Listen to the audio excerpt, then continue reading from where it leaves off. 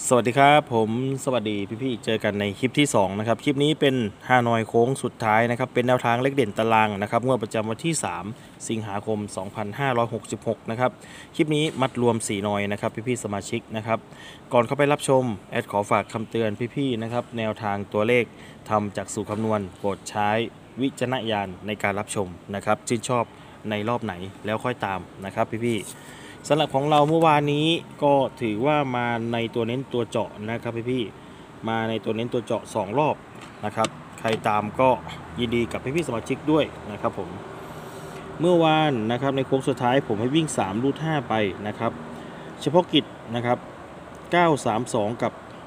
13 นะครับพี่พี่ของเราน่าเสียดายตัวเจาะไม่มาเลยนะครับ ใครเอา 3 ไปวิ่งไปรูดนะครับพี่พี่เด้งบนล่าง นะครับเนาะสายวิ่งสายรูดนะครับสายเจาะไม่โดนนะครับ ส่วนรอบพิเศษนะครับ 090 กับ 65 นะครับในรอบนี้ใครเอา 5 ไปวิ่งไปรูดนะครับเข้าไปที่ 5665 ในตัวเน้นตัวเจาะนะครับ ส่วนรอบปกติ 13798 นะครับในรอบนี้ใครเอา 3 ไปวิ่งไปรูดนะครับเข้าไปที่ 37 ตรงๆนะครับพี่ๆเน้นๆเนาะนะครับอืมอันนี้ให้ 537 นะครับ ออก 137 นะครับส่วนรอบ VIP 28269 นะครับ ในรอบนี้หลุดนะครับพี่ๆก็สรุปแล้วตัวเจาะมา 2 รอบนะครับ ตัววิ่งมา 1 รอบนะครับ ใครมีโชคก็ยินดีกับพี่ๆสมาชิกด้วยนะครับเนาะคอมเมนต์เข้ามาให้กำลังใจแอดได้นะครับผม ส่วนแนวทางวันนี้นะครับผมเดี๋ยวเราไปรับชมกันเลยนะครับ วันนี้เลขเด่นตารางนะครับ 2 1 3 8 5 9นะครับผม ส่วนสายวิ่งสายรูดในโค้งสุดท้ายที่ผมได้นะครับ ผมได้เลขพี่น้องนะครับพี่ก็คือวิ่ง1นะครับ วิ่ง1รูด2นะครับ1 3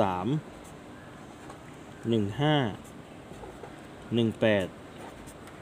1 9 2 3 2 5 2 8 2 9น สองสามสองห้าสองแปดสองเก้านะครับผม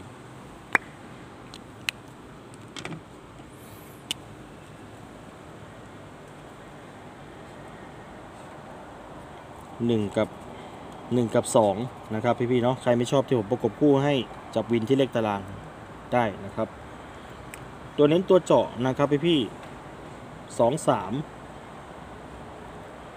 หนึ่งห้าหนึ่งแปด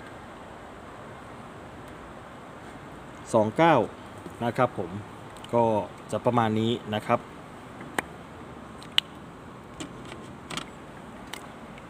หลักร้อย